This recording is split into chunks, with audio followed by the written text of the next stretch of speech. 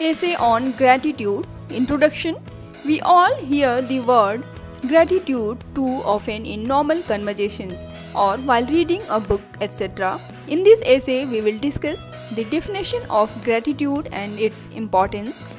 What is gratitude?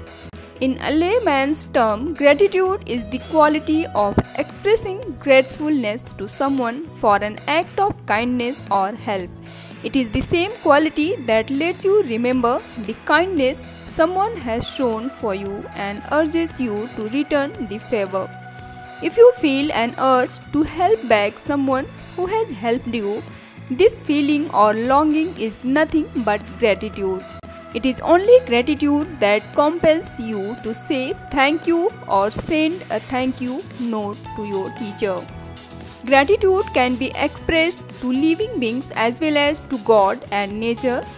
We can express our gratitude to the nature for providing us so many essential things water, air, food, etc.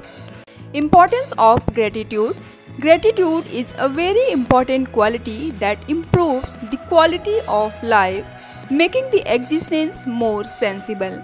It establishes social harmony and induces an environment where everyone is appreciating each other and providing support. It also improves the quality of our personal lives and strengthens our bonds with family and friends. In a family where everyone is grateful to everyone has a deep emotional attachment. Conclusion Gratitude is the best way to return the favor to society, nature, God, friends, relatives, and relatives for thousands of good things all of them have done to us. Thanks for watching. Please like, share, and subscribe.